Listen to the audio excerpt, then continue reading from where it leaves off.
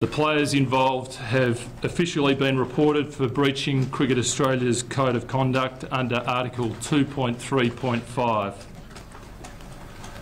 The substance of the offence can be covered by terms, and I uh, paraphrase somewhat from the article, conduct at any time that is contrary to the spirit of the game, unbecoming of a representative, harmful to the interests of the game, or brings the game into disrepute.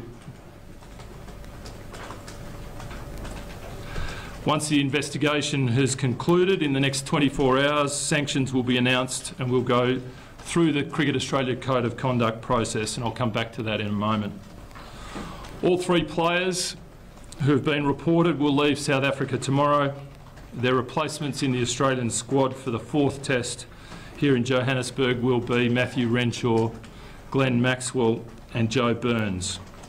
Replacement players will arrive in South Africa over the next 24 hours.